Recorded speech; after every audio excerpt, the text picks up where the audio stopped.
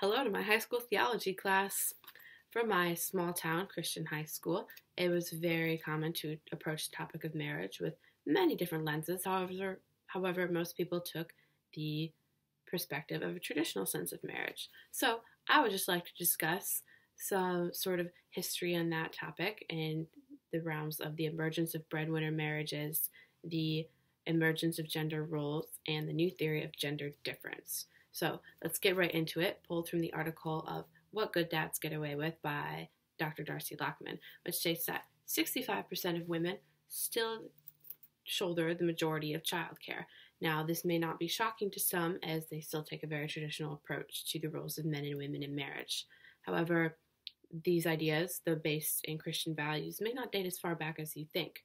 There are, however, still very modern sectors of Christianity or complementarian Christians, as said by Octavia Scerda in her article Much Ado About Christianity, and whereas they believe that men should rule over their wives and wives over the children, men are ruling over their wives just as God rules over us. It is their ultimate job to be the supporter of that family. But again, where did this idea originate from, and why is it still such an important factor in the way our society functions today?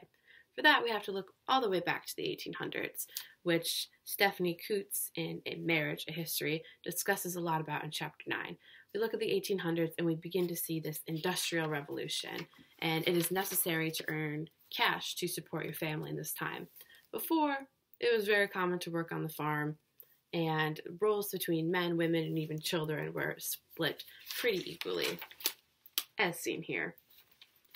However, once men began to actually leave the home in order to make a living, we saw a sort of imbalance of power take place.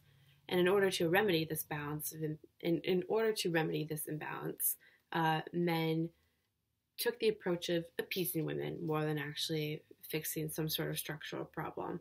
Uh, therefore, they declared it was their God given duty and God given talent to work as a homemaker and serve the home raise the children. Whereas for men, it was their God given talent to leave the home and work and earn a salary. Now, this fitting it into this perspective of Christianity really made this idea catch on for a lot of people, and it we saw how effective it was as it is still relevant even today. So this is called the new theory of gender difference, which can be split in a model as seen here. Women their half was to be at home, men, their half was to go to work. They were complementary and they fit together.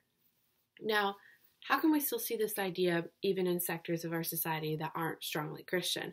Well, these roles have been so ingrained in our society that they are just the way that we function and we are socialized to fall into these roles. The National Bureau of Labor Statistics states that uh, married mothers are actually less, less likely to work than mothers of other marital status. Now, of course, this can be from a multitude of factors, but it still comes back down to the fact that when a father is present in the home, they are more likely to be making the salary.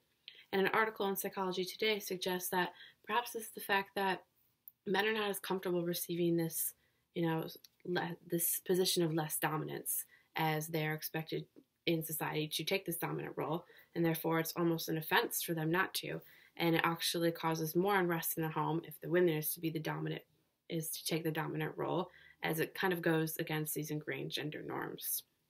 Therefore, this idea, though it has roots in Christianity, is not a requirement of Christianity, and we place so much effort and we place uh, so much weight in these roles when really it was structured in society only to appease women when they felt underappreciated and that their work was no longer appreciated in a society of cash transactions, according to Stephanie Coontz.